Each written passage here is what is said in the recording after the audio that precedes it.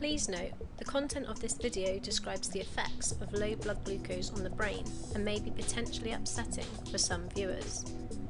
Like the rest of our body, the brain is no exception in that it needs fuel to work. This fuel is normally provided by an essential sugar called glucose, but as explained in the first video, in CHI, very high levels of insulin cause blood glucose to reach dangerously low levels. This is known as hypoglycemia, or hypo for short. But what actually is hypoglycemia? In part, it refers to the amount of glucose in the blood. Ideally, this is kept within a range of 4 to 6 millimole per litre. A hypo is said to occur when blood glucose drops below the lowest point of this normal range. Unfortunately, it isn't really this straightforward, and there still isn't a definition that absolutely everybody agrees on. Doctors have, however, agreed on targets of blood glucose that should be used in babies with CHI. It's important to understand that normally our bodies can counteract hypoglycemia by breaking down fats to make an alternative energy source called ketone bodies. Unfortunately, in CHI, as well as reducing the amount of glucose in our blood, insulin also stops us producing these reserve energy sources. This means that during times of hypoglycemia, the brain is essentially being starved.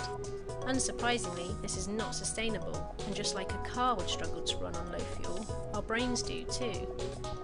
Running on empty for long periods of time has a number of effects. For example, research has shown that children exposed to continued hypoglycemia undergo changes in the wiring of their brains. This can cause irreversible brain damage. Brain damage caused by hypoglycemia may result in children developing learning difficulties or suffering from fits.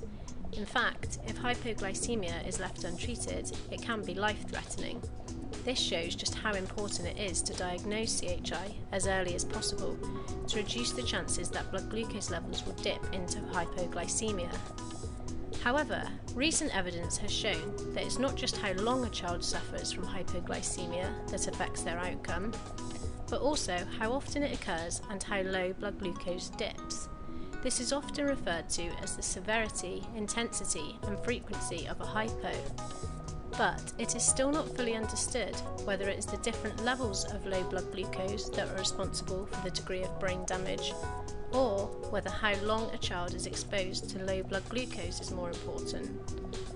Although every patient is different, what is widely agreed is that early diagnosis and rapid correction is key.